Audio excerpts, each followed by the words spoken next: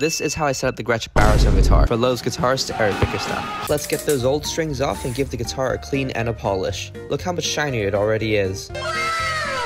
Now with that out of the way, let's slap some strings on it. Erik uses a combination of an extra thick 0.105 gauge bass string for the 6th string, combined with a 14 to 68 baritone string set for the rest of the strings, discarding the thinnest 14 gauge. A funny consequence of that extra thickness in that 105 gauge bass string is that I have to unwind a portion of the string so that it can even fit through the tuning post. I've seen some other people drill the tuning post wider, but I'd much rather not risk compromising the structural integrity of the tuner, especially when dealing with such thick strings. On the topic of drilling, drilling, the stop bar actually had to be drilled slightly wider to accommodate a slightly thicker portion of the string, otherwise there'd be this unsightly portion of the string sticking out of the guitar. Now for the moment you've all been waiting for, the actual setup. First thing to check is the neck relief. The easiest way to check that is to capo the first fret and fret the 14th fret on the 6th string. This effectively creates a straight edge where you can measure the ever so slight concave curvature of the neck, which is done by measuring the gap between the top of the 7th fret and the bottom of the string. Erik prefers quite a flat fretboard, measuring in at just 0.005 inches, which doesn't even show up on camera, so sorry. Next thing to check is the action, and since there's only two points of adjustment for the action on this bridge, I only need to check the action on the 6th and the 1st string, which comes in at 5 64ths of an inch on the 6th string and 4 64ths of an inch on the 1st string. This is quite a bit higher than average, but given the much thicker strings, the higher action gives him a bit more to grab onto while playing.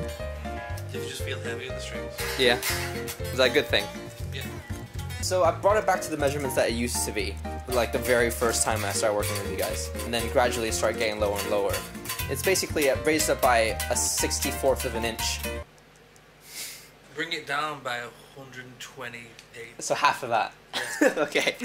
So with feedback from Erik, the action is now actually four and a half 64ths of an inch at the sixth string and three and a half 64ths of an inch at the first string. So let's see what he thinks of it now. Baritone is feeling fantastic. Feels good, plays well. Feels like